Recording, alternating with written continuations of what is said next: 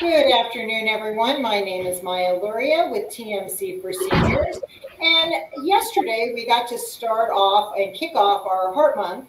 And today we're going to continue on with heart failure causes and treatment. I've got Dr. Greg Koshkarian here with me, and he has done some wonderful presentations for us. And so I'm really excited that you're here today to talk about heart failure because we have not had a talk in quite some time on that on that topic. But before you start, Dr. Koshkarian, I just want to share with everybody what they what they should know about you. So, um, you know, you have. I love to share because you've got such a great background. You graduated from Stanford for your undergraduate degree and received your medical degree from Yale University School of Medicine. Dr. Koshkarian completed both an, interventional cardio, cardiology fellowship and a general cardiology fellowship through Georgetown University Medical Center, as well as completed a heart failure fellowship through Columbia Presbyterian Medi- Medical Center. He, Dr. Koshkarian is with Pima Heart and Vascular, and he treats patients with all forms of cardiac disease, including coronary artery disease, congestive heart failure, atrial fibrillation, and other arrhythmias, and valvular heart disease. He evaluates symptoms that are potentially cardiac related, and he believes that preventative care is important for all patients. Welcome, Dr. Koshkarian. How are you today? Good. Thank you very much, Maya. It's always a pleasure to spend time with you here and talk to your group. Great. So we do have an online audience that's watching from home, and I, you also have an in-person audience. So if you're watching from home, please feel free if you've got any questions that come up to leave those in the comments, and then we'll ask those afterwards. I'm going to go ahead and put your um, PowerPoint up for you so that you can go ahead and get started. All right. Thanks very much. And thank you all for coming out today. I'm looking forward to talking with all of you. Um, as Maya said, we're going to talk about heart failure, which is kind of abbreviated CHF, which is congestive heart failure, diagnosis, causes, and treatment. Um, I had actually, I, I treated heart failure for 30 years in, in cardiology, and it's one of the most common things that we deal with as cardiologists, but I've actually never given a lecture on the whole topic. And found as I was putting this together that there's a lot of things to talk about.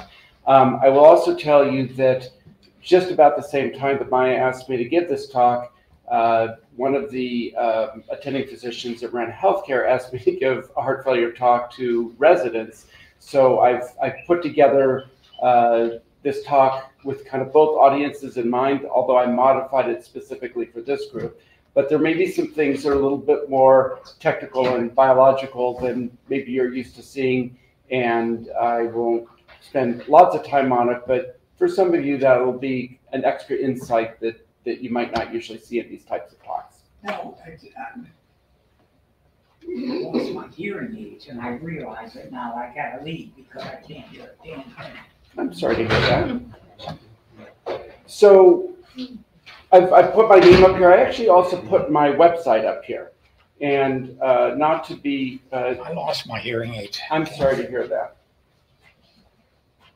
Um, I have a blog that I've been doing for the last three or four years. So there are actually a lot of other topics you can read about if you're if you're interested uh, by going to gregkoshkarianmd.com. All right.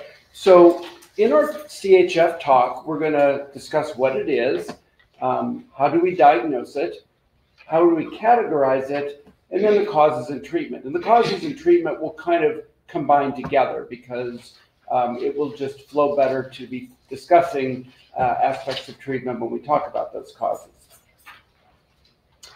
Now, congestive heart failure or heart failure is a very scary term, and this is the look I sometimes get on my patients' faces when I tell them that they have this. And uh, it is certainly not a benign condition, um, but it's also not as quite as serious as it sounds because people imagine their heart has stopped, it's about to stop, they're about to die. Um, and failure, unfortunately, is is probably not the best term for congestive heart failure because the heart hasn't completely failed. Um, the definition that we use for congestive heart failure is an inability of the heart to pump enough blood to meet the body's physiologic needs in an efficient manner. So, in a sense, it's heart in- inefficiency. The heart is not doing quite what it should be doing, and other systems uh, kind of get activated to compensate for that, and it leads to some of the symptoms and signs of heart failure. So, heart failure is an inefficiency of the heart. It's not doing things as efficiently as it should, but it doesn't necessarily imply that your heart is about to stop or has completely failed. Now, this is one of the biological slides, um, but it's I think it's an important thing to show people because it it helps explain what the most cardinal feature of heart failure is, which is fluid retention. So, if any of you have ever been told you have heart failure or know people have heart failure, you might hear uh, your doctor referring to, oh, you're retaining fluid or you have too much fluid or you're fluid overloaded. And why does fluid overload have anything to do with heart failure? Um, if the heart's not pumping, it's often not pumping blood forward. Why does that lead to um, to there being too much fluid in the body? And the answer has to do with this this sort of biophysics pr- principle that was discovered decades ago uh, called the Starling curve, and that is that the heart is a pump but it has other properties that make it like a slingshot. So, you know, with a slingshot, if you pull the slingshot further, you project something farther.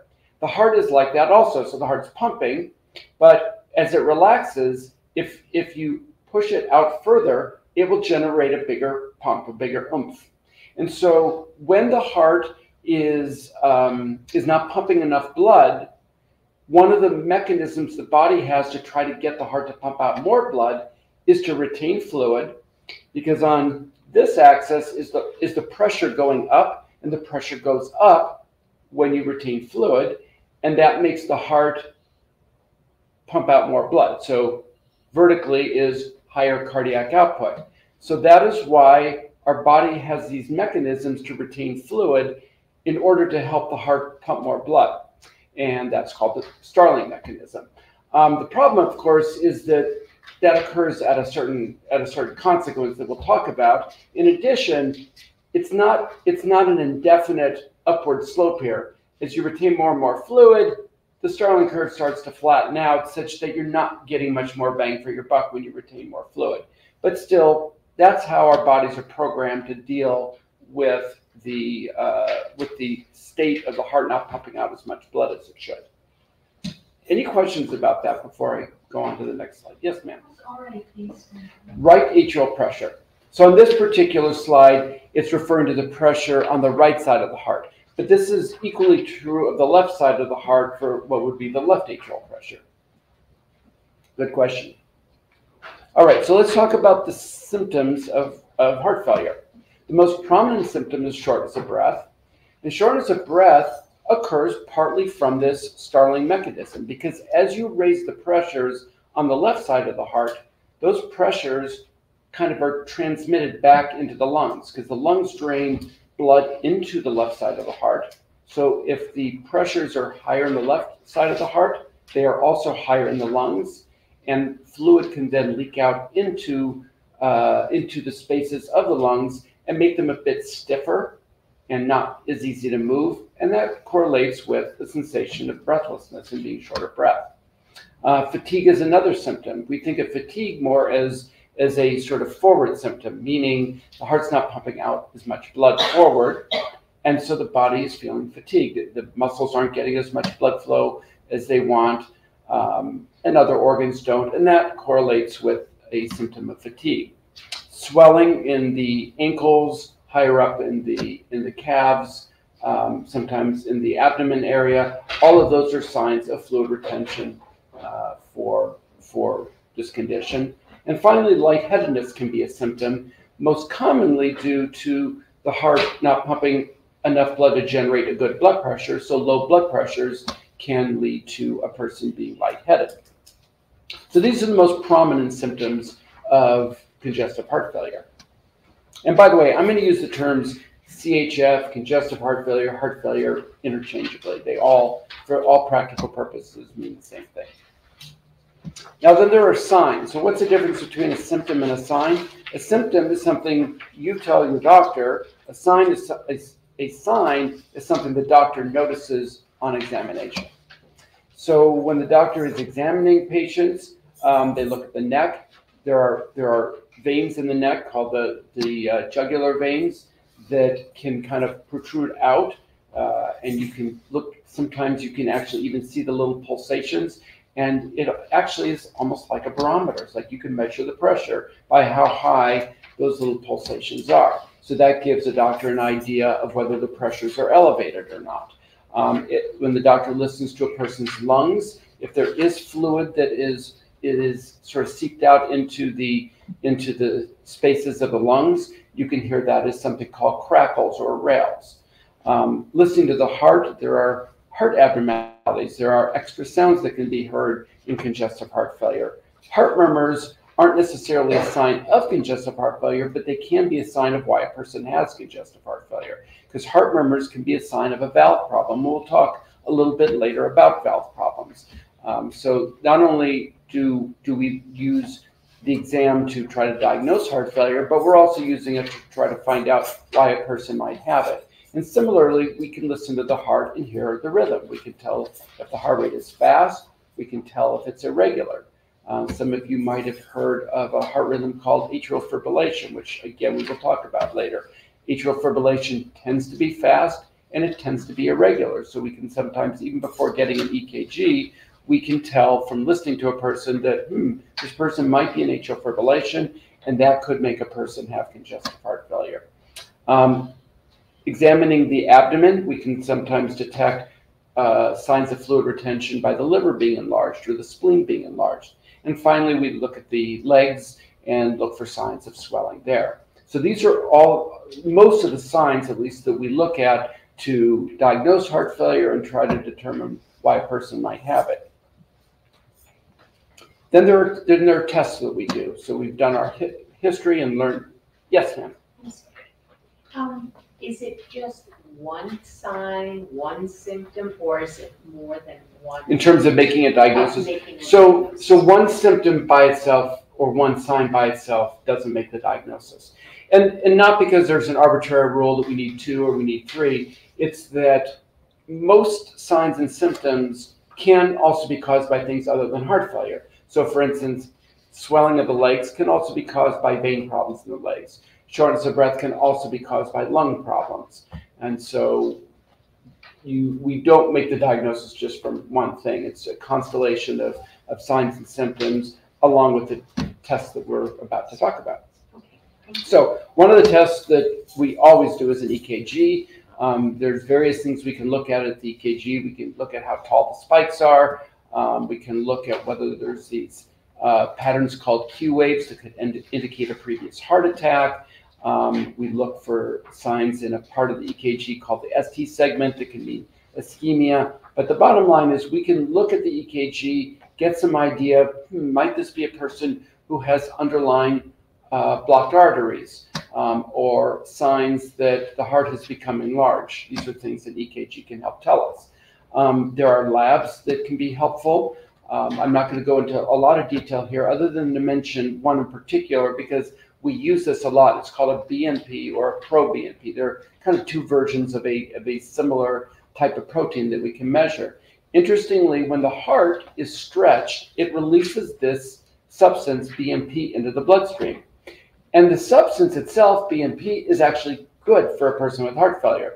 So it gets released because it helps get rid of fluid and it does some other good things. But the fact that it is being released is a sign that there are elevations of the pressures and stresses on the heart. So it's kind of a paradox. BNP is a good thing, but it's also a sign of a bad thing. You know, think of it this way it's like um, if you, um, uh, let's say you had an unsteady gait, you might have a walker. A walker is a good thing because it helps keep you from falling down. But if you see somebody with a walker, you conclude, hmm, I guess their balance isn't as good as it should be. And finally, we frequently get an echocardiogram, and echocardiograms are the most, probably the most helpful test in making a diagnosis of congestive heart failure and, and determining why it is, because we can see how the heart pumps, We can see how it relaxes, that systolic and diastolic function. We can see how thick the walls are, how big the heart is. We can look and see if there are leaky valves or valves that don't open as well as they should. And we can sometimes draw conclusions about uh, the pressures inside the heart, um, as well as other, other aspects of, of the heart. So an echocardiogram gives us lots of information. Did you Yes. mention murmurs? I said that murmurs are things that we can, that was on, on the previous slide, uh, that murmurs can give us reasons why a person might have heart failure. There are a lot of different ways we categorize heart failure, and I don't want to go into all of these in great detail, um, but only to explain how we look at it, and also because you might have heard some of these terms before. So one of the ways we categorize heart failure is by the symptoms. Another way is through stages, and stages are mostly used by doctors for kind of research purposes and for um, for demographic purposes. I don't think it's as practical a means for a day-to-day purpose of, of your understanding heart failure. Um, we also categorize heart failure by whether it's more related to the heart not pumping well or more related to the heart not relaxing well, systolic and diastolic heart function, and there's various various ways we categorize that. And we also categorize it by acuity. So we can say a person's in acute heart failure, or they have chronic heart failure, or they have kind of a combination. They had chronic and now they have acute on top of that. And that, that brings me to a point that I think is also important. People often say, well, will I always have congestive heart failure? And I, or I feel fine. Why are you still telling me I have congestive heart failure? So unless a person who has had heart failure has a completely reversible cause. So let's say they've done well all their life, they um, go into the hospital for a surgical procedure, and the surgeon writes an order to give a person IV fluids, but they get double the amount they should, and somebody forgets to turn it off, and now they've got way too much fluid in their body, and they're quote in congestive heart failure. And it's realized that fluids are stopped, the fluid is gotten rid of with, with diuretics, and this person might never have congestive heart failure again. But for most people who have an episode of congestive heart failure, they have some condition, some some process in the heart or or structural abnormality that will always make them have a tendency to congestive heart failure. And even if we use medicines and lifestyle changes to make it unlikely a person ever has congestive heart failure again, we still say to that that that person has chronic congestive heart failure. Whereas acute congestive heart failure is what we say when we say a person is in congestive heart failure right now. That means they're actively retaining fluid or having symptoms from congestive heart failure. So I think that's an important uh, thing to distinguish. This is the one categorization I will go into a little a little bit more detail because we we use it so frequently um, conversationally and also in our notes, and it might help you understand what these mean. So we talk about New York Heart Association classification of heart failure, where one is a person who has had congestive heart failure but has no symptoms whatsoever. Um, class two, they have mild symptoms. There, there are some things that they're limited by, but mostly they're not limited. Class three patients tend to be a lot more limited. Um, they're- can't do anything more than very mild activity without symptoms. And class four is much more serious symptoms where their symptoms are at rest or with any activity at all. And people can go back and forth in, in, in these, uh, in these uh, classification, these classes. All right, so lots of causes of CHF. Um, I am not going to list all of these right now. You've got them in your notes there. We're going to touch on these as we go uh, into the next part of the lecture. And before we do that, any more questions about what I've talked about so far? Okay, let's dive in. All right, so ischemic heart disease I am covering first. Ischemia means compromised blood flow to the heart. It usually means blockages in the coronary arteries, which are the arteries that supply the heart with blood. And it's the, probably the most important thing to rule out in a person who has uh, congestive heart failure because a if you treat the blocked arteries, you can you can sometimes reverse the, the heart failure. And secondly, if you don't treat it, if you overlook that a person's in congestive heart failure because of blocked arteries and don't treat that, that can lead to a much worse prognosis um, because those people can be uh, at risk of having heart attacks and worsened congestive heart failure. Um, I'm going to decide how much of this to, to go over, but I will briefly, for those of you who have an interest in physiology of, of ischemia, which, as I said, is compromised blood flow, one of the things that people are often surprised about is that the, the, the part of the heart cycle, pumping and relaxing, that is dependent on energy is not the pumping, it's actually the relaxing. So if you interrupt blood flow to the heart, the first thing that happens is it gets stiffer, not that it stops contracting. And interestingly, that that also correlates with something else that people often think is, oh, if my heart function is diminished, isn't that just a normal thing of getting older? And the answer is no. Our pumping ability is should be completely normal throughout our lives, barring something that has injured the heart. Whereas it is pretty natural as we get older for the relaxation of the heart to get worse as we get older. So our heart does get stiffer as we get older. And that kind of goes along with this, this relaxing being more susceptible to decreases in blood flow and energy and, and that. Did you get your hearing aids? No.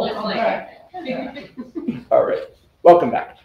Um, so that, that's just a little information about ischemia.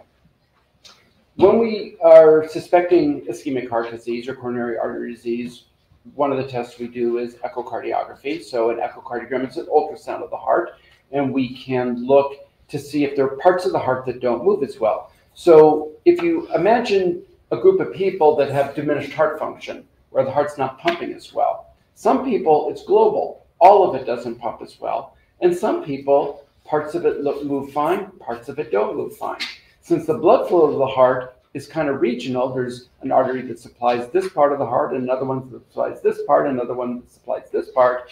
If one of those areas isn't working and the others are, there's a, there's a much higher chance that there's a blockage in that artery that supplies that part of the heart. Now, it is possible to have blockages in all the major arteries and have all the heart muscle not be working very well. But again, if you see regionality to the dysfunction of the heart, that is an indirect sign that there may be blocked arteries. So we use this as a clue that that might be an issue. Um, nuclear scintigraphy or nuclear stress tests are looking at blood flow to the heart. You don't see the arteries, but you see whether the heart's getting a good blood supply or not. If it is not getting a good blood supply, that again is a sign of a blocked, blocked artery, either in several or, or one. Um, some people get MRIs, and MRIs can actually see if there's a scar. Um, I've had patients where I do an ultrasound of the heart, and it looks like a part of the heart isn't moving well, um, but the images aren't real good, or sometimes on a nuclear stress test, the report will come back that there's a scar there, um, but the scar is questionable because the heart muscle seems to be moving, but the nuclear study is saying there is scar. An MRI can be the definitive test to say, yes, there is a scar, no, there is not a scar, and can rule that in or, or, or rule that out. And the gold standard for making a diagnosis of blocked arteries is coronary angiography. So that can come in two forms. We now can do CAT scans that are angiograms and see the arteries. Um, it's a little less accurate, but less invasive than a cardiac catheterization, where the catheter is actually put in the heart, dye is injected in the arteries, and then we can see if there's narrowing or not. So these are the kinds of tests that we use to determine if a person has coronary artery disease. And once we know that, we can try to open up arteries or revascularize people, give them new vessels. The most common way we do this is with stents. Um, this isn't a stent talk, and, and so I'm not going to go into lots of detail about the process of opening up vessels with stents, but I thought it would be interesting to look at stents, and and because I'm sure almost everybody here has heard of stents, and not everybody has seen them. So this is a stent that's off the balloon. This is a stent that's on the balloon. The stent starts off with a crimped on the balloon that is not expanded. So this is expanded. This is what a stent looks like when it hasn't been expanded. And when the balloon is blown up, it gets embedded in the artery. The balloon is deflated and removed, and the stent stays in the artery in this expanded state. Stents are, in a sense, like scaffolding. Imagine you've had a, a mine shaft that has collapsed, and you and you rebuilt the the girders and beams and helped prop up the walls that have collapsed. That's what a stent does. What Yes. is that made of? Um, it, different kinds of things, um, chromium, nickel, cobalt. I think, I'm not sure stainless steel is used anymore, but I think the original ones were. It's generally, the, the properties you want from a stent are high tensile strength, meaning that it resists being crushed, that it can help hold things open, but you also want it to be light um, so that it's easy to maneuver through vessels. And so they've done a lot of work over the years to try to find op, um, optimal alloys for, for stents. Do you ever have to remove them? You can't remove them. No. Once they're once they're embedded, it wouldn't be possible. I mean, you, you you'd have to open up the chest, and even then, you'd have to then slice open the artery because this is on the inside of the artery, not on the outside of the artery. So it becomes kind of part of the wall of the vessel. The only time we remove them is if they if actually the deployment fails. Like rarely, very rarely, the stent will sort of fall off the balloon and it'll have to be retrieved because then it hasn't been it hasn't been expanded. But once it's the balloon is blown up and it's embedded in the vessel, it stays there, doesn't migrate after that, and and eventually the the the um, body forms a protective layer of cells around it. It just becomes part of the wall of the vessel. All right, and the other major way that we revascularize people with blocked arteries is with open heart surgery. So open heart surgery takes a, a vessel.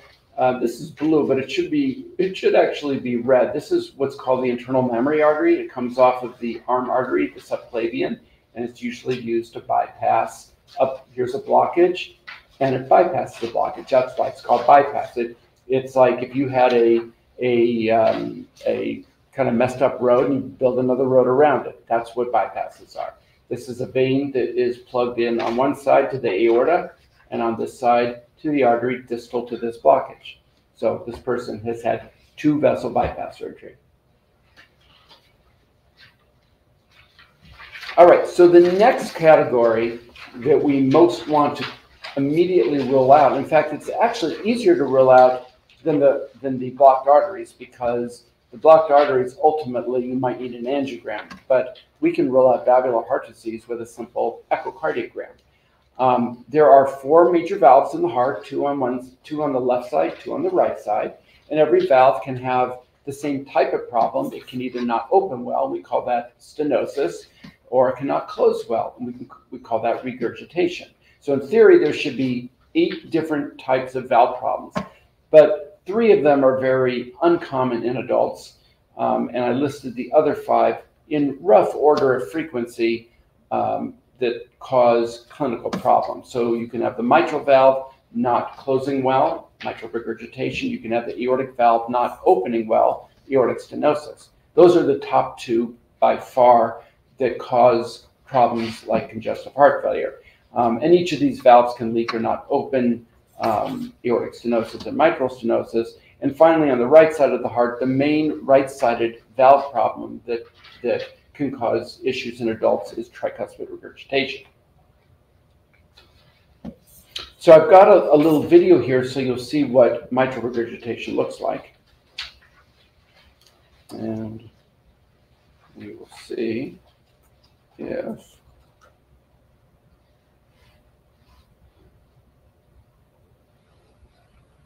So left atrium, mitral valve, and the mitral valve is closing. And that prevents blood as it's going out of the heart into through the aortic valve from going backwards. But if the mitral valve doesn't work right, you see it's not closing here, and this purple represents blood that is going backward. And that's mitral regurgitation. And it causes two main problems.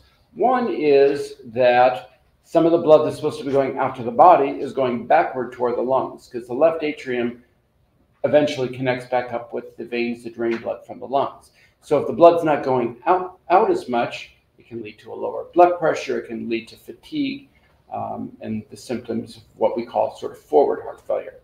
When the heart is pumping blood backward toward the lungs, it raises the pressures in the left atrium and the lungs and can make people short of breath. So those are the cardinal symptoms of, of mitral regurgitation. So how do we fix mitral regurgitation? One is to do open heart surgery and put an artificial, artificial valve. And I just showed some pictures of valves.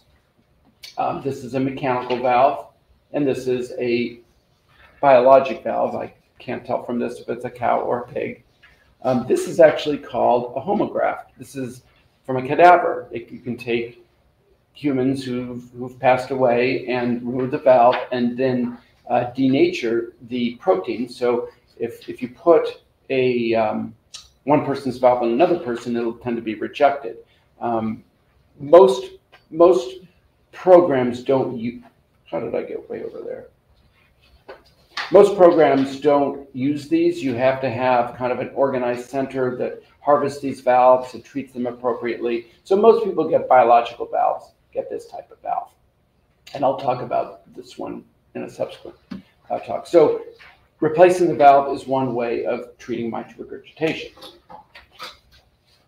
Another way is to do something with catheters, and the most common catheter procedure is called a mitral clip.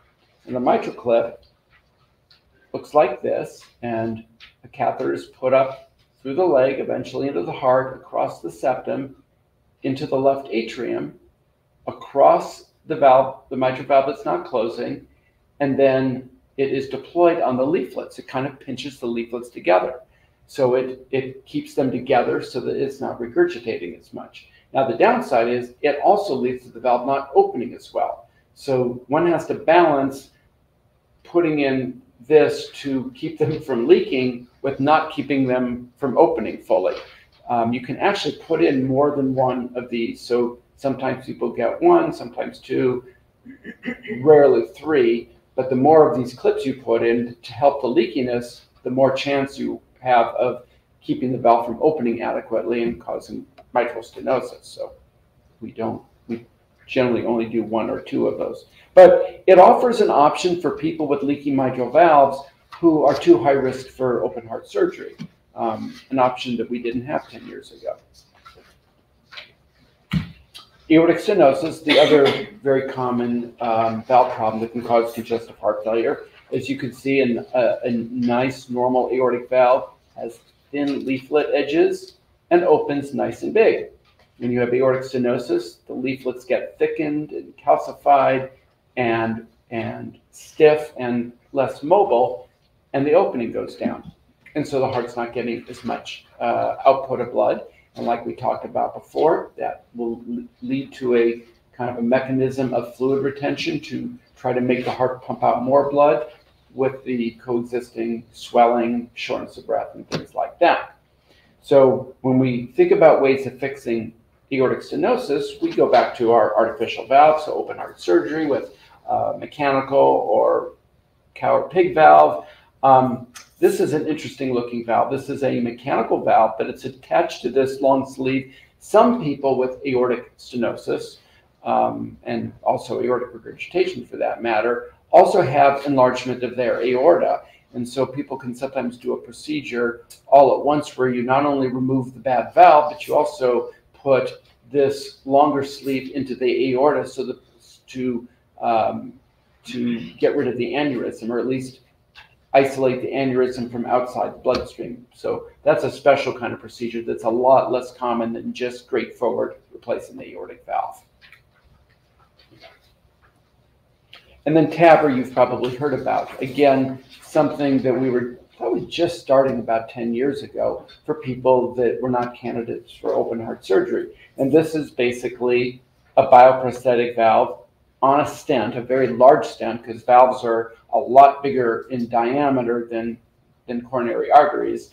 And it's deployed with a balloon, and it's blown up here, and it replaces the previous valve. And so this has allowed a lot of people who had aortic stenosis and were too sick to have surgery to have their aortic stenosis fixed.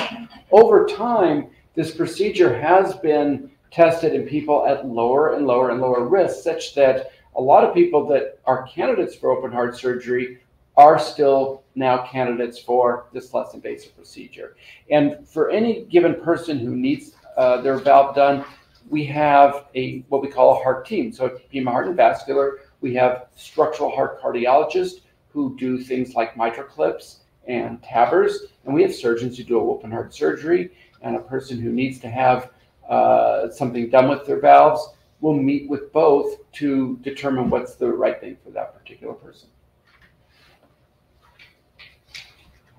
All right.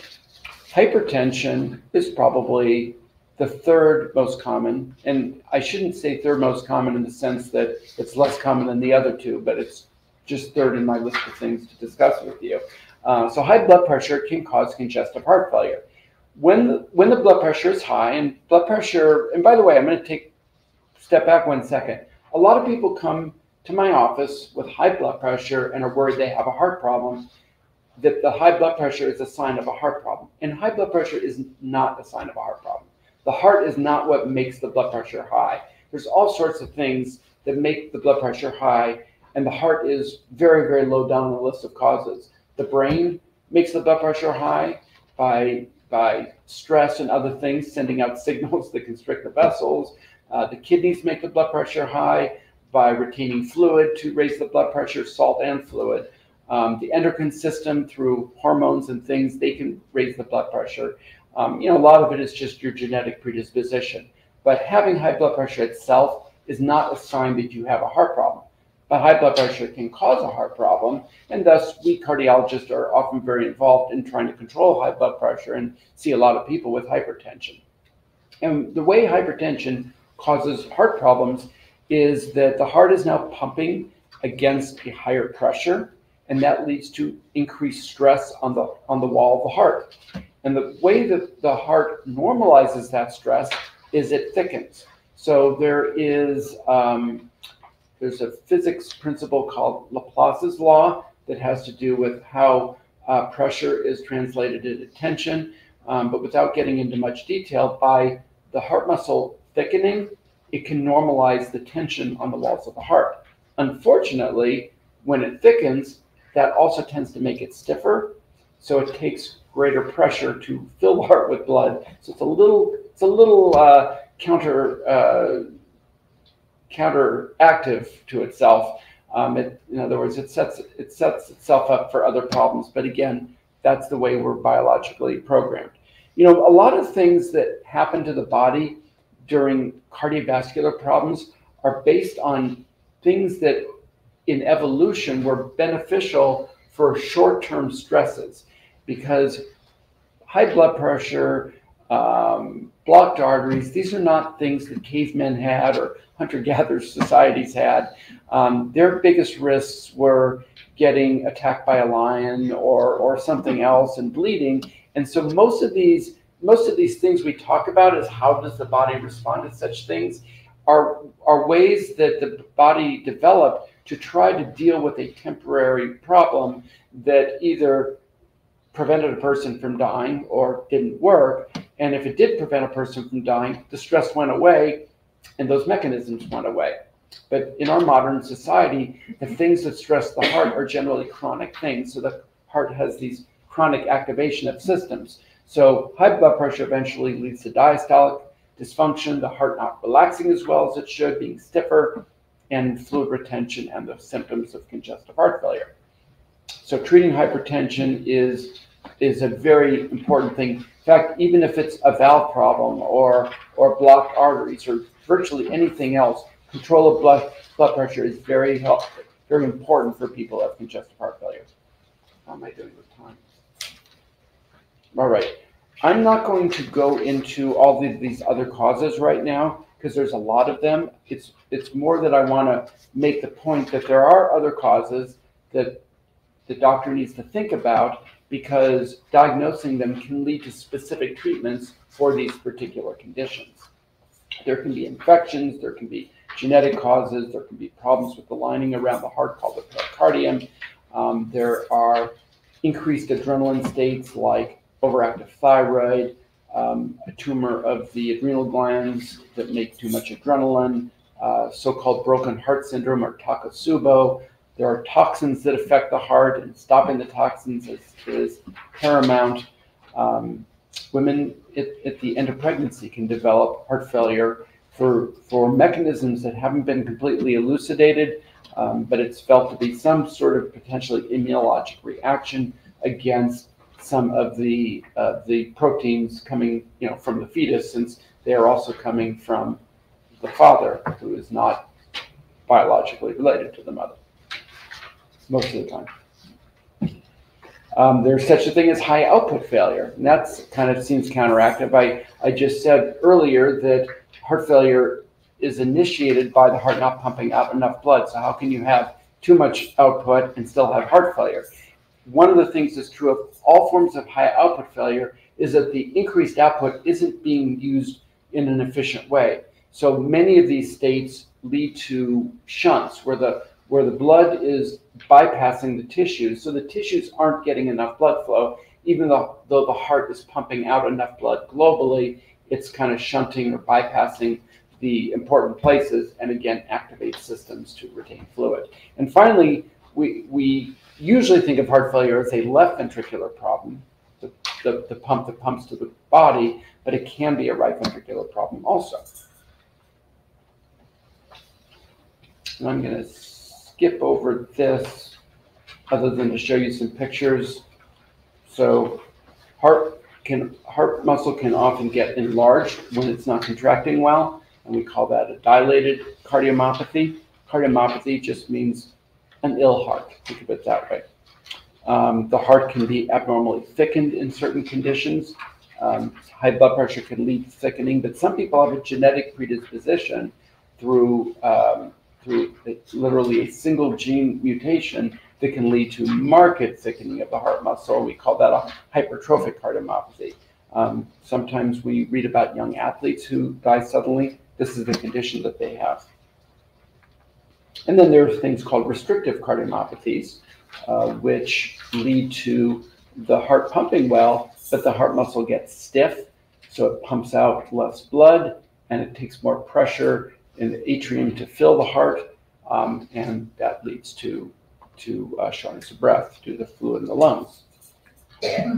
All right, so now we're going to turn to more general treatment. We, we talked about already talked about treating the underlying cause because um, each of the things we discussed about its causes, I talked about how we treat that. Um, but now I'm going to talk about um, how we sort of generally treat all forms of either diminished heart function, systolic dysfunction, or diastolic dysfunction. And then I'm going to finish with just a couple slides on a condition called amyloidosis. All right.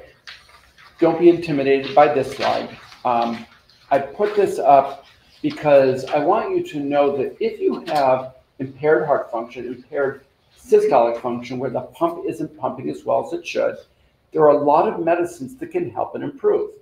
And in fact, we think of there, there being the four pillars of heart failure. And the four pillars include beta blockers. That blocks adrenaline because adrenaline actually can injure the heart over time. So this goes back to my discussion about being attacked by a lion and you're bleeding and, and adrenaline levels go up to support the circulation. And once you heal, the adrenal levels go back down again. But if you have heart failure and diminished output, the adrenal levels are always elevated and they are actually further injuring the heart. So beta blockers are used to, to counteract that. Then there's another system that gets activated, the renin-angiotensin system. And there's three kinds of drugs for that. There's ACE inhibitors like these, there's ARBs like these, and there's a drug that got developed about 10 years ago called Entresto, which has the, the uh, generic name valsartan sacubitril. And these all block the renin-angiotensin system um, to, which, as I said, can also injure the heart over time.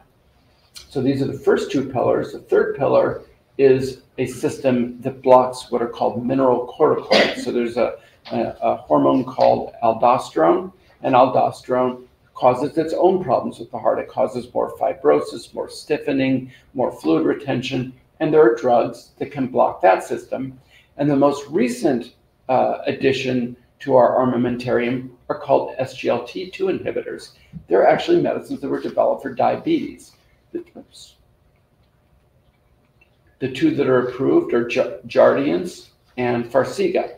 And I'll tell you a very quick story. Um, 20 years ago, it was discovered that Actos and Avandia, which are effective for helping to control diabetes, they found after it had been released that they were finding more examples of congestive heart failure in people who use them. And so, first, these drugs were given a black box warning do not use if you have congestive heart failure. So, anybody in here is on Actos or Avandia and has congestive heart failure, ask your doctor, is there an alternative for my diabetes? But the other thing that happened is the FDA mandated that all new diabetes medicines had to be tested and be, be to be uh, ensured to be safe for the heart because the most common thing people with diabetes die of is cardiovascular disease. So, so if you lower the sugar but you raise the risk of heart disease, you're not doing a person with diabetes a lot of good. So they had they had to be tested. What they found in these SGLT2 inhibitors was they were safe for the heart. Not only were they safe, but when the, the people who were on the SGLT2 inhibitors had about a 30% less likelihood of developing congestive heart failure. And so the drug companies who made this said, hmm, we got a pretty good thing going here. I wonder if this might be beneficial to even more people than just people with diabetes. And they did the appropriate studies. And it turns out, yes, if you put non diabetic people with heart failure on these medicines, it also decreases heart failure. And so they were, in the last few years, approved for congestive heart failure. So those are the four um, four main pillars. Now, there is a fifth pillar, hydralazine isosorbide, that is not used as broadly because it hasn't been shown to be beneficial in most Americans. But in people who are African American, um, it actually is beneficial. And there's various theories as to why blacks might be uh, might benefit from this drug more than others, having to do with just the particular properties of these drugs and how that might be different than the for the genetic makeup of most people of African descent. Um, but be that as it may, we do use this combination uh, in the form of Bidil in people uh, who are African American and have congestive heart failure. But it hasn't been shown to be beneficial outside of that group. So these that's our armamentarium. Other things that are important to consider are decongestant. So I told you fluid retention is kind of the sine qua non of congestive heart failure. We have to use diuretics to get rid of fluid. Loop diuretics like Lasix are the most common, but there are also thiazide diuretics like metolazone and hydrochlorothiazide that we use. Uh, there's another drug that we sometimes use called Corlanor. It slows the heart rate down. Some patients who are on beta blockers either don't tolerate it because they lower the blood pressure too much, um, but they still have a high heart rate. And it's been found that the high heart rate itself isn't good. And if you slow the heart rate down with this drug that does not have blood pressure effects, that can be beneficial. It doesn't improve lifespan, so it's not considered our first line therapy, but it is definitely a good second line therapy in people who remain symptomatic and have an elevated heart rate. And finally, there are a lot of devices that can be beneficial. And I'm going to go over these in, in the following slides.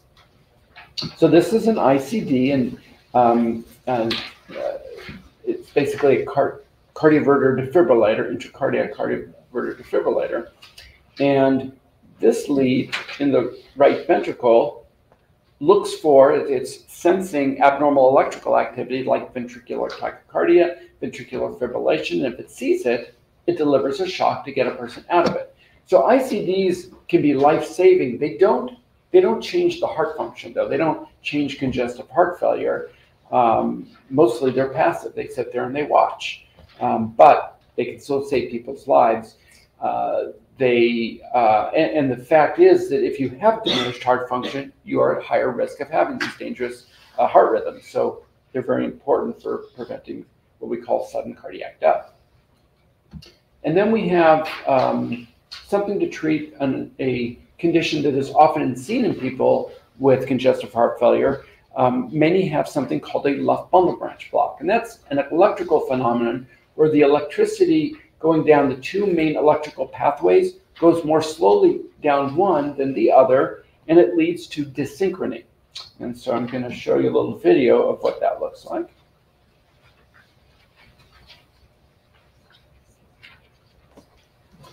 So see how this wall is not moving at the same time as this wall. The heart's more doing this than this.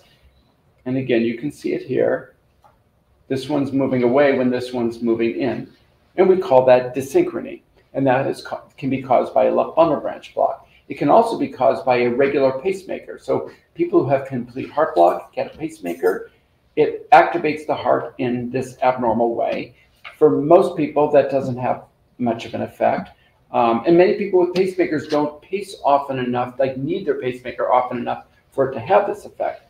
But for those who are pacing all the time and develop heart dysfunction from it, what we can do is put another lead in. So the usual pacemakers have two leads, one in the atrium and one in the ventricle, the right atrium and the right ventricle. But for people who have a left bundle branch block or heart failure, uh, either brought on or exacerbated by a pacemaker, a third lead on the opposite side, on, in the left ventricle, can restore synchrony. And we call that cardiac resynchronization therapy, or CRT. A more recent device that uh, has just started getting used uh, on a regular basis in the last year or so is called car cardiac contractility modulation. And this is, this is a little bit more esoteric to try to explain. But what the principle is, is that they have discovered that if you give an electrical impulse at a certain timed in a certain part of the electrical cycle of the heart, you can improve the efficiency of the energy use of the heart, and that that can have a consequence of leading to improved heart function.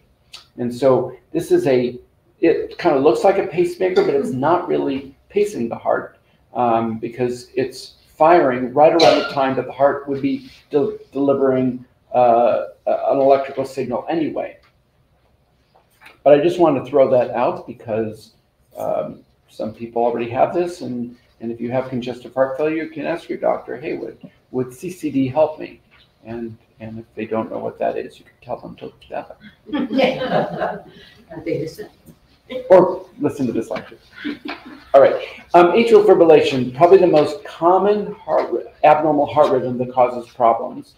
And I'm not going to be doing an EKG course here, but I'm going to show you what atrial fibrillation is in, in kind of schematically. So this is a normal EKG. And in a normal EKG, you have a little, a little bump here that represents the electrical activity of the atrium. Those are the upper chambers or accessory chambers, followed shortly after that by a spike that represents the electrical activity of the ventricles. Okay, and so there should be a one-to-one. You've got atrium, ventricle, atrium, ventricle, atrium, ventricle. What happens with atrial fibrillation is the atria are not beating 60 times a minute, 70 times a minute, 80 times a minute. They're beating 300 times a minute. They're beating so fast that they're not really pumping anymore. They are fibrillating. So if you could see the atrium doing this and suddenly it's kind of doing this because 300 electrical signals a minute is way too fast for the mechanical uh, part of the heart to kind of keep up with. So it, it fibrillates, but it's atrial fibrillation. Now, if the ventricles fibrillate, that's lethal within seconds. But atrial fibrillation does not lead to ventricular fibrillation. They just have one of those words in common. So two things happen with atrial fibrillation. One is that you no longer see consistent um, bumps right before these spikes. And the other thing is, is that these 300 beats per minute are kind of bombarding, bombarding what's called the AV node, which is the gateway between the atria and the ventricles. And the, and the reason you don't have ventricular fibrillation is the AV node can't conduct 300 times a minute. So it filters out most of these impulses. But even if it filters out two thirds of them, that's still 100 beats that are getting through. So a resting heart rate of 60 becomes 100. Sometimes it only filters out 100 of them. And actually, I said 300 times a minute. It can be as much as 400 times a minute. So people can have heart rates of 130, 140, and they're getting through irregularly. So it isn't some organized way where two get blocked, one gets through, two get blocked, one gets through. Maybe two get through real quickly, and then another one doesn't get through for for uh, for another second or so. And so you get an irregular heart rhythm and you tend to have a fast heart rhythm. And so atrial fibrillation can, can contribute to congestive heart failure both because it's too fast, because it's irregular, and because the atrium aren't pumping and therefore not contributing to the cardiac output. There's lots of reasons why atrial fibrillation um, can lead to both symptoms and potentially congestive heart failure. So a lot of people with congestive heart failure and atrial fibrillation, we now do a procedure called an ablation. And you've probably heard of ablation. Ablation means, in a sense, to ablate is to cut. And so an ablation is cutting something. What are they cutting? They're they're kind of in the original use of it, it used to be done surgically, and the surgeon would make a little incision that would lead to a scar. And the scar doesn't conduct electricity, and so it was a way of short circuiting abnormal electrical pathways.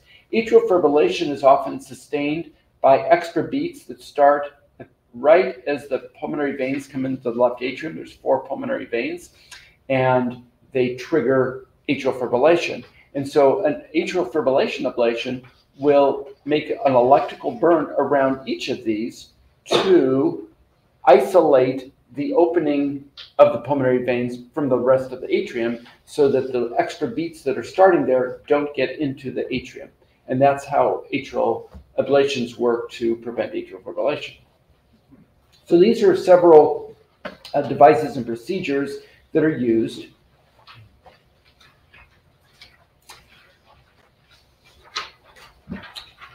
Maya, how much time do we have? I probably have another 15 minutes.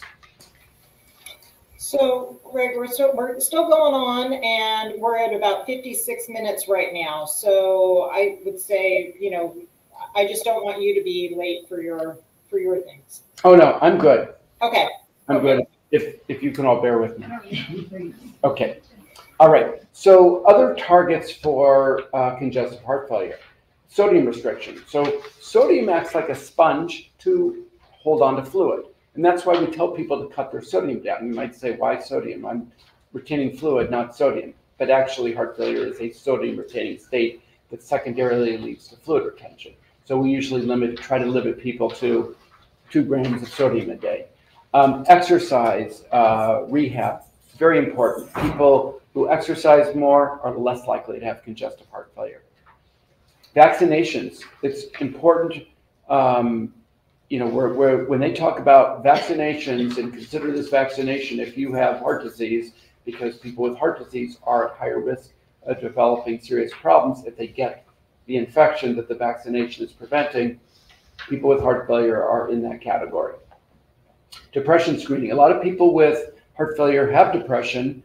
Um, it is brought on by having heart failure, but it actually can make the heart failure worse because depression um, affects the brain and the brain affects the body. And so there's kind of this vicious circle. So uh, that's something to be considered. Um, sleep apnea. Untreated sleep apnea definitely increases the risk of, of congestive heart failure. And so we ask questions that, that get at whether a person might have sleep apnea, like do they snore, or they witness to stop breathing, and there's ways of treating that. And iron deficiency, interestingly, anemia is not good for heart failure, but iron deficiency, even without anemia, is not good for congestive heart failure. And they've done studies where they've found that if you have iron deficiency, giving iron infusions to boost up the iron stores actually decreases the tendency to symptoms. So these are all other treatment targets for uh, diminished heart function, heart failure. And then there's drugs to avoid, anti-inflammatories. And I hate to say it because there's so few safe drugs for arthritis and, and muscular pain, but unfortunately, things like Aleve and Motrin, they can cause fluid retention, they can raise the blood pressure, so they're not good for heart failure. Um, alpha blockers, uh, which are most commonly used for, for men for, who have enlarged prostates, uh, are drugs to avoid. Uh, certain calcium channel blockers, nifedipine, diltiazem, verapamil. Um, I'm not going to go into all the details here. We already talked about the pioglitazone and rosiglitazone, that's Actos and, and uh, rosuvastatin. And another category of, of uh, diabetes medicines, the, the so-called gliptins, when they were tested recently, were shown, some of them were shown to increase the risk of congestive heart failure. All right. Um, we talked about Now, heart failure with diminished heart function, you can also have heart failure with preserved pumping but poor relaxation. Um, again, I'm not going to go into a lot of detail, but I just want to talk about how do we doctors look at this condition and how do we diagnose it.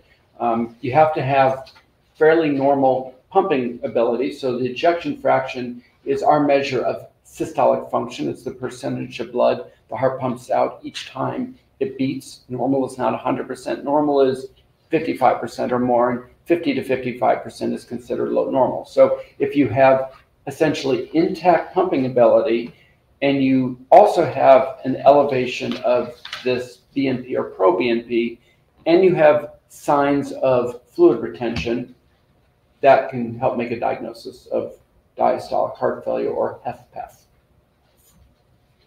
And we also use some scoring systems that are based on the exam, based on demographics, and based on echo findings. So it's kind of complicated, but just so you can see that that it's not always an easy diagnosis to make. It's a lot easier if you just see that the heart's not pumping well. If the heart's pumping fine, you have to tease things out a little bit more to decide if the symptoms are from congestive heart failure or not.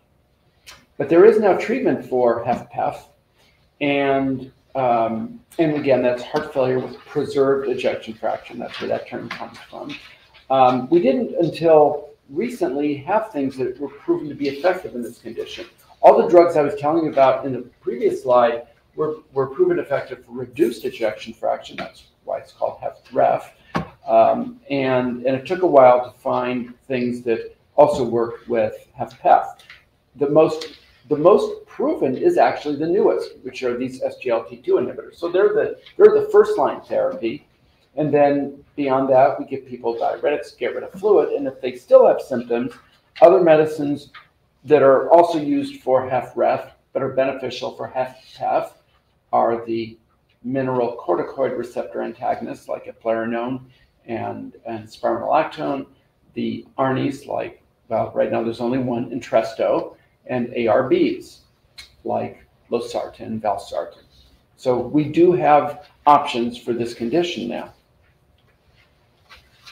And really the same targets for HFrEF are true of HFpEF, but I added weight loss to that. So weight loss is listed here and it wasn't listed in the other. HFpEF is, if, if you look at what some of the biggest predictors are of getting HFpEF as you get older, it is being inactive and carrying around too much weight. So the opposite of that really helps inoculate you against getting HFpEF. And I'm going to finish very quickly talking about a particular type of HFpEF called amyloidosis. I'm talking about it because we now know well, what we didn't know when I was in training 30 some years ago that this is a much more common condition than we thought. When I was in medical school in the late 80s and, and in training as a phys- physician in the early 90s, we considered this to be a very rare condition. Um, and so it was one of those things where, okay, yeah, I read about this in medical school, but I'm never going to see it. And it turns out we didn't see it because we didn't look for it. And if you look for it, it's actually pretty common. So I bring this up mainly because if you have congestive heart failure and and you're not responding to therapy, or your doctor says, I'm not really sure why you have it, ask if it's possible that it could be amyloidosis. Amyloidosis is a type of thickening of the heart muscle that is due to deposits of abnormal proteins in the wall of the heart. And so a normal heart looks like this. Amyloidosis hearts look like that, look like that, where it's abnormally thick. Now, most of the time when the heart is abnormally thick, it's thick because the muscle gets thick. But this is not muscle. This is tissue that is um, that's embedded with these abnormal proteins. And there's two major types of proteins that cause amyloidosis. One of them is caused by blood cells called plasma cells making too much immunoglobulin, and that is most commonly seen in people of multiple myeloma. So we, if we suspect amyloidosis, we look for multiple myeloma. And the other is caused by too much transthyretin being deposited in the heart. And transthyretin is a molecule that carries certain proteins in the bloodstream. Um, sometimes it has a mutated version that tends to link up and form chains that then deposit in the heart and also in other tissues like, like nerves. Um, but even uh, normal transthyretin, as, as we get older, it kind of develops some injuries and doesn't behave the way it should, and it can deposit even in people who don't have a mutation. So these, these are the two most, uh, these are the two proteins that cause amyloidosis and lead to HFpEF diastolic heart failure. And you can, we can sometimes see this through what we call speckling on an echo. So you see these kind of bright spots that are kind of the reflection of these protein deposits. Um, on an MRI, you can see it as these white deposits, which you know should it should look dark like this, but you get all of this stuff in there, and that's just another view on the MRI. And who do we suspect amyloidosis in? Well, it tends to be seen at older ages, um, and we look for in people who have um, have HFpEF and certain red, red flag signs. And I'm not going to go into all of them, but I tell you this so that you see what your physician might be looking for when they're trying to determine it. There are things we see on the EKG um, that might give us a clue on the echo, on an MRI, on lab work. But the real, real major things that should give a clue are if the amyloidosis is involving the nervous system, people can have sensory motor neuropathy, so peripheral neuropathies, particularly diffuse, not just this leg, but both my legs, both my arms, bilateral carpal tunnel syndrome, um, autonomic neuropathy. So autonomic uh, nervous system is the part of the nervous system that you don't have to think about. Um, it controls things like the heart rate and controls digestion. So uh, people can have digestive problems. They can tend to have diarrhea. They can have can have nausea and vomiting. They can have gastro, uh, GU problems, um, genitourinary problems like incontinence and things like that. They can have problems maintaining appropriate blood pressure, where their blood pressure tends to drop uh, when they stand up. So none of these are, are proofs of amyloidosis, but they're things that if we hear them in a person that's congestive heart failure, we think we should be looking for this. And how do we look for it? Um, we look for these abnormal proteins. So for, for amyloidosis related to myeloma, we measure these abnormal light chains that are the immunoglobulins that are made by the plasma cells. And for TTR, for transthyretin amyloidosis, we actually have a scan called a PYP scan, a certain type of nuclear scan, that can see signs of these deposits non-invasively in the heart. And then there is treatment. If you have uh, myeloma, treating the myeloma treats the amyloidosis. And now we have drugs for the transthyretin type. Um, tafamidis is something I've used in several of my patients with, with varying degrees of success. Some people don't have much effect, but I've had people have marked improvement in their symptoms.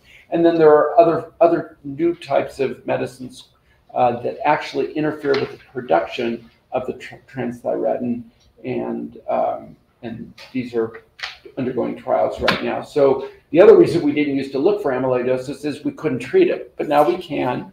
We know it's more common, and now we look for it. So, in summary, um, we diagnose heart failure with a basic history, physical, and targeted studies.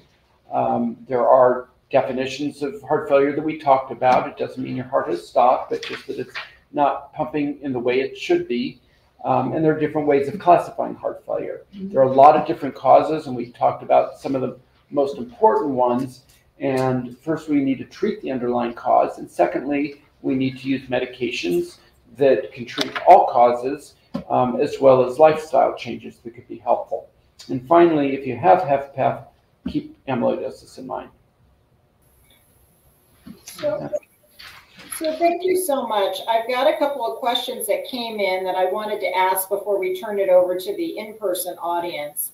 Um, one was somebody just commented and asked about the stents, the picture of the stents that you had shown.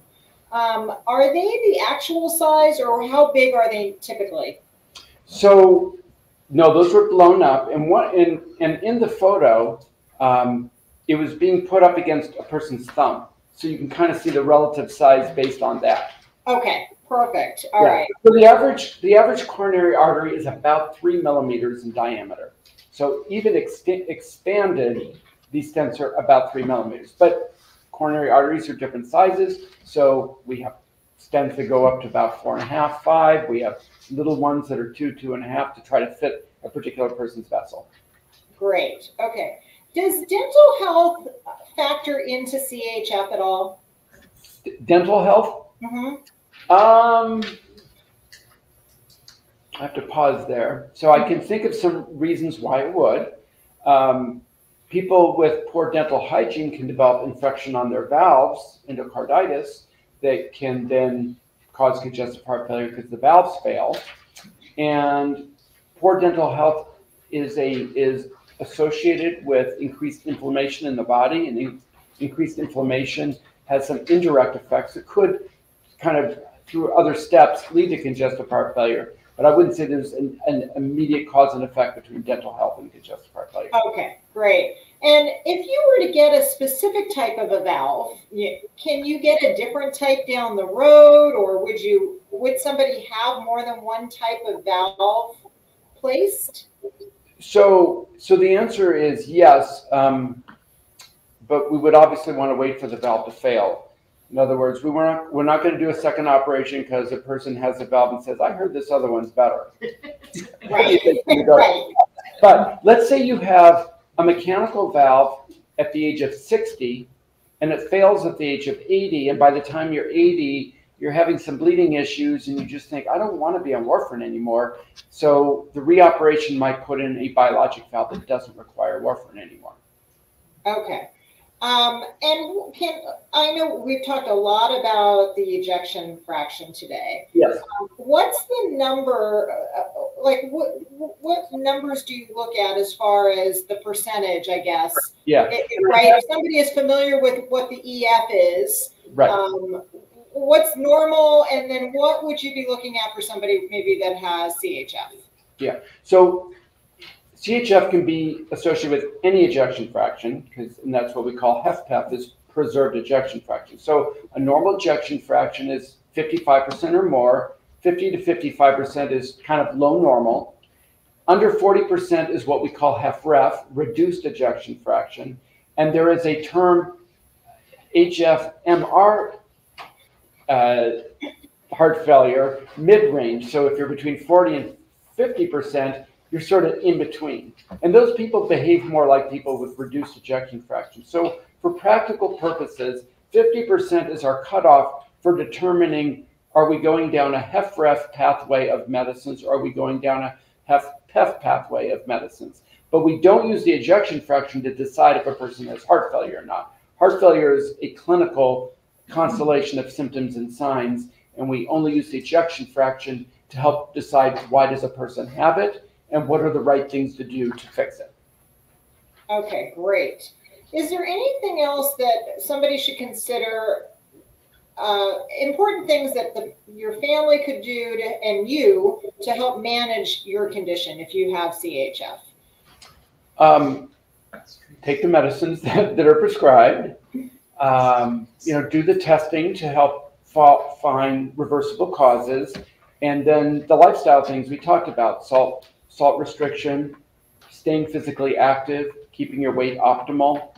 Um, those are probably the most important things. Right. So diet and so Diet, exercise, diet is important. kind of, kind of health all around, right? Right, exactly. It does.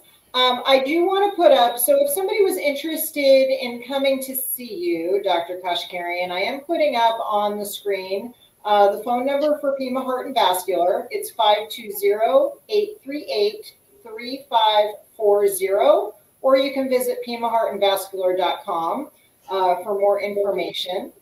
Um, so I want to thank you so much for being here today. I'm going to close off with our online audience, and I'll turn it over to to the uh, folks that are in the room today for any other questions. All right. Thank you so much for being here. Sure. Thanks again for joining us today for uh, heart failure. We are going to have more talks next week, um, and we also have a um, Heart Smart Expo. So if you are interested in coming to our next talk, it will be on, sorry, uh, Tuesday, February 13th. It is Eating to Your Heart's Content, so a nutrition talk uh, for your heart health. Um, so if you'd like to join us again, February 13th at 10 a.m., that will be with Mary Milady from our TMC Wellness team. Um, if you'd like the link for that, please give us a call at 520 324 1960. And we'll see you then. Thank you.